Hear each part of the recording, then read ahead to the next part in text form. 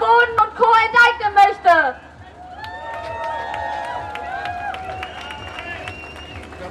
Hallo! Es ist, nicht, es ist noch nicht lange her, da waren wir mit 25.000 Menschen auf der Straße und haben gegen den Mietenwahnsinn in Berlin protestiert.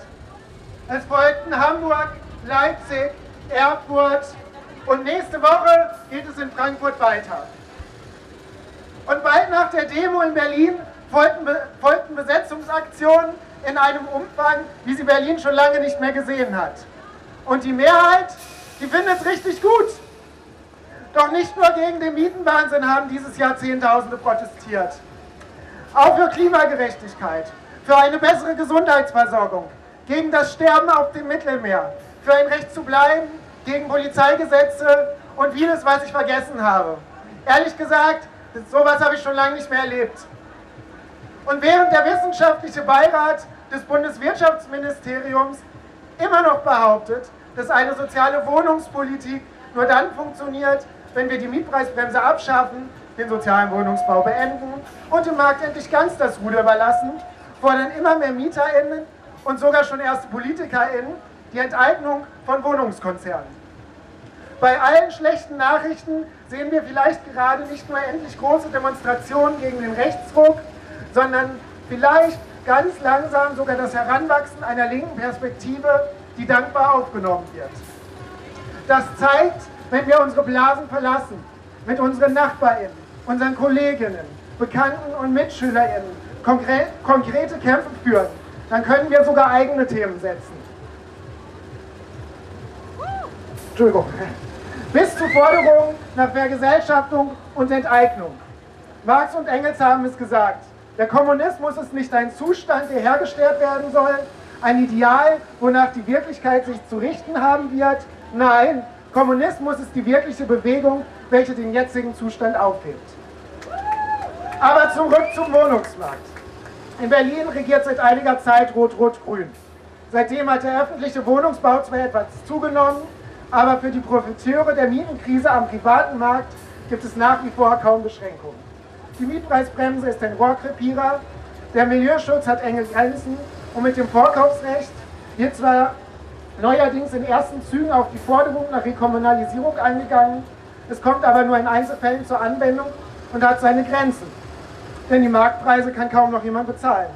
Selbst genossenschaftlicher und kommunaler Neubau kann daher alleine die Probleme nicht lösen, weil die Wohnungen einfach zu teuer sein werden.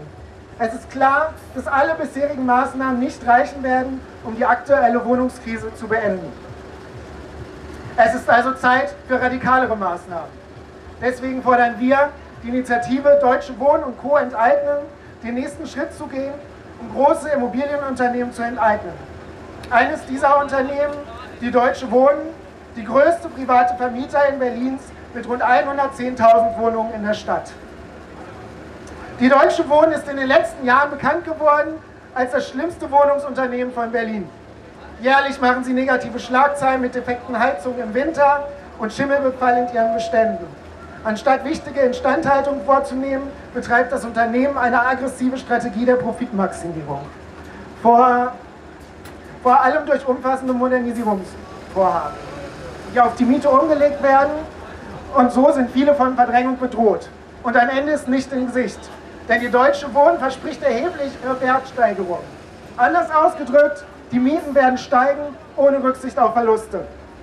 Wir wissen schon lange, dass die Deutsche Wohnen, dass Unternehmen wie die Deutsche Wohnen allein an Profiten interessiert sind und nicht an guten Wohnbedingungen für alle. Da helfen keine Appelle an ein soziales Gewissen, denn ein kapitalistisches Unternehmen wird immer auf Profite angewiesen sein. Wenn wir endlich ohne Angst vor Mietsteigerung und Zwangsräumung leben und über unsere Häuser mitbestimmen wollen, müssen wir die Eigentumsverhältnisse ändern. Der Zeitpunkt ist gut. Die Organisierung von MieterInnen der Deutschen Wohnen, Akelius, Vonovia und viel mehr zeigen, dass der Druck wächst. Gemeinsam trauen wir uns jetzt etwas, was lange undenkbar schien. Und das sagen mir übrigens auch Leute, die wesentlich älter sind als ich. Wir fordern die Enteignung aller großen privaten Wohnungsunternehmen. Gründe. Und dafür gibt es nicht nur einen Grund, sondern verdammt viele. Wohnen ist ein Grundrecht ist für ein Leben ein gutes Leben unverzichtbar. Nur ein Leben ohne dauernde Existenzangst kann menschenwürdig sein. Deswegen muss der Spekulation mit diesem Grundbedürfnis ein Ende gesetzt werden. Gerade börsennotierte Unternehmen verfolgen eine Strategie, die Mietpreise um jeden Preis hochzutreiben, weil sie hohe Kredite für den Kauf der Bestände aufgenommen haben und ihren Aktionären, denen natürlich, hohe Gewinne versprechen. Und darum müssen wir immer höhere Mieten bezahlen. Immobilienunternehmen wie die Deutsche Wohnen oder Vonovia nehmen aufgrund ihrer Größe eine marktbestimmende Sonderstellung ein. Sie beeinflussen nicht nur die Mietgesetzgebung, zum Beispiel durch Angriffe auf den Mietspiegel. Nein, mit ihrer Ausrichtung auf Profitmaximierung im Besonderen für, sind sie im Besonderen für Preissteigerungen auf dem Wohnungsmarkt verantwortlich. Viele der Wohnungen, mit denen Deutsche Wohnen und Co. heute ihr Geschäft machen, haben einmal uns gehört. Sie wurden zu niedrigen Preisen unter dem rot-roten Senat privatisiert und dazu gehörten ganze Wohnungsbaugesellschaften, die GSW oder die GEHAG. Holen wir uns die Häuser zurück. Mit unserer Kampagne wollen wir allen Mietern der Deutschen Wohnen, Vonovia, Ado Properties, Akelius und Co. ermutigen, sich weiter zu Wehr zu setzen. Dafür stellt unsere AG Starthilfe der Initiative Deutsche Wohnen und Co. enteignen ihr Wissen in Workshops bereit und unterstützt neue MieterInnen-Initiativen beim Aufbau. Doch wir wollen noch mehr als das. Mit einem Volksbegehren werden wir die Grundlage dafür schaffen, große und börsennotierte Wohnungsunternehmen wie die Deutsche Wohnen zu enteignen. Los geht's nächstes Jahr. Auch die Deutsche Wohnen ist nicht unschlagbar. Doch gewinnen werden wir nur, wenn wir immer weiter den Druck erhöhen zeigen wir, dass wir nicht nur auf Demonstrationen Antikapitalister rufen können, sondern auch echte antikapitalistische Kämpfe führen können. Schreiben wir Geschichte und setzen die Vergesellschaftung der großen Immobilienkonzerne durch. In diesem Sinne, Deutsche Wohnen und Co. enteignen. Vielen Dank für diesen Redebeitrag.